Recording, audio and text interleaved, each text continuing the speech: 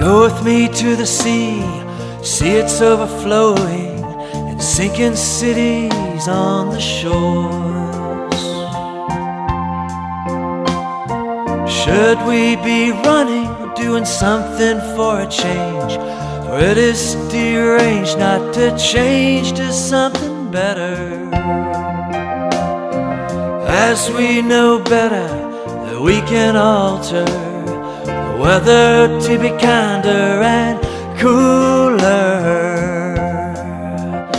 So the polar ice stays cold, so there will be no ozone hole. So we're healthy and bold, so we can love as much as our hearts can hold.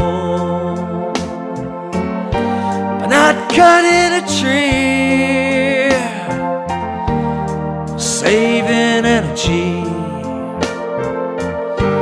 living less chemically, loving nature,